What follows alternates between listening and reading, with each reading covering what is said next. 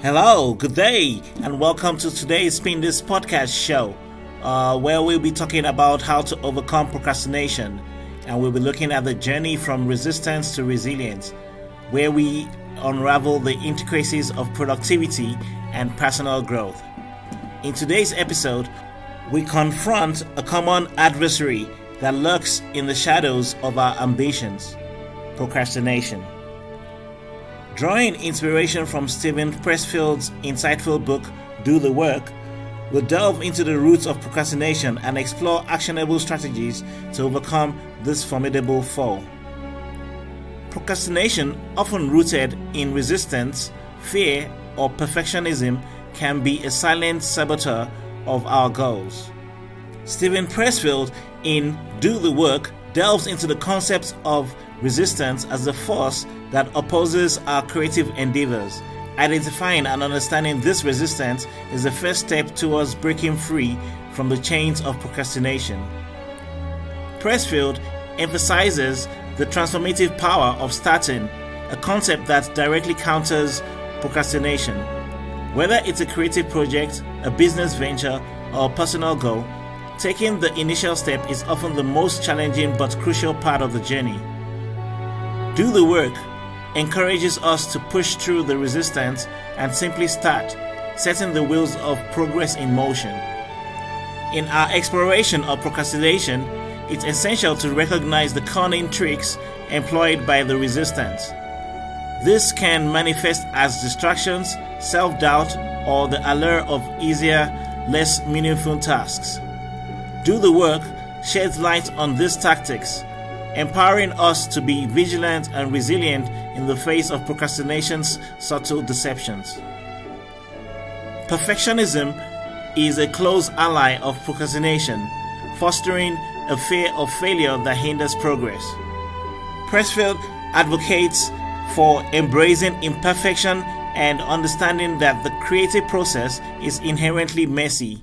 By letting go of the need for perfection, we disarm procrastination and open ourselves to freedom of expression and exploration. Overwhelming tasks often become breeding grounds for procrastination.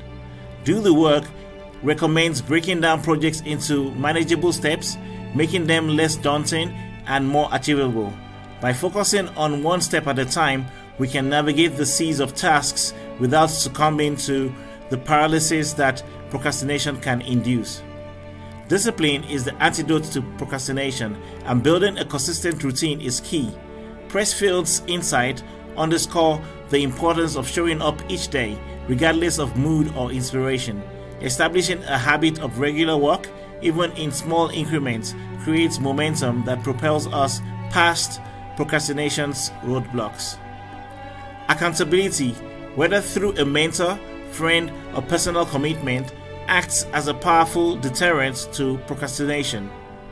Do the work highlights the value of external support and self accountability in staying on course, sharing goals, and progress in others fosters a sense of responsibility that can counteract the lure of procrastination. Our journey to conquer procrastination draws inspiration from Steven Pressfield's Do the Work. By understanding resistance, embracing imperfection, and cultivating discipline, we can navigate the challenges of procrastination and embark on the path of creativity, productivity, and personal fulfillment. Today, we embark on a journey to conquer procrastination, drawing inspiration from Steven Pressfield's enlightening book, Do the Work. Procrastination, a common obstacle to progress, often impedes our potential and hinders the pursuit of our goals. Let's delve into actionable strategies to defeat procrastination and unleash productivity. First, we need to understand the procrastination trap. Pressfield's book sheds light on various forms of resistance that fuel procrastination. Whether it's fear, self doubt, or distractions, Recognizing these adversaries is the first step towards overcoming procrastination. We look at the resistance and its manifestations. This is where Pressfield introduces the concept of resistance as the force that opposes our creative endeavors. By identifying its manifestations from self sabotage to perfectionism, we gain insight into the multifaceted nature of procrastination. As we embrace the do the work mentality, the core of the message of Pressfield's book is to confront resistance head on and to do the work despite its presence. This mentality emphasizes consistent action and perseverance in the face of procrastination's allure. Breaking down the procrastination cycle. Procrastination often results from overwhelm or the lack of clarity.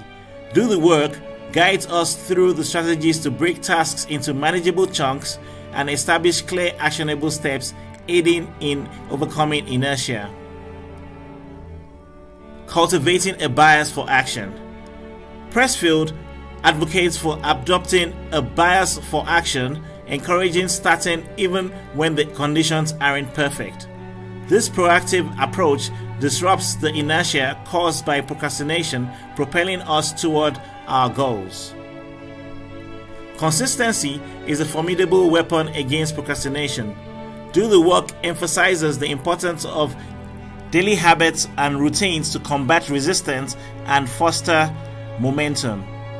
Procrastination often stems from fear of failure or the unknown. Pressfield's insight helps us to reframe fear, embracing it as a natural part of the creative process and overcoming self doubt through action. From time blocking techniques to accountability strategies, do the Work equips us with a toolkit to combat procrastination. These actionable tools empowers us to navigate resistance and boost productivity. As we conclude this exploration of conquering procrastination inspired by Steven Pressfield's Do the Work, we are reminded that overcoming resistance is an ongoing battle. Thank you for joining us on the Spin Disc podcast show as we delve deeper into strategies, insights, and discussions aimed at defeating procrastination and unlocking our full potential. This now brings us to the end of today's episode. The Spin Disc podcast is available on multiple streaming platforms such as YouTube, Zeno FM, Apple Podcast, Amazon Music, TuneIn, Spotify, and much more. Kindly subscribe to the Spin Disc podcast so that you can receive future episodes. Thank you once again, listeners, for joining this show. Have a lovely day and goodbye.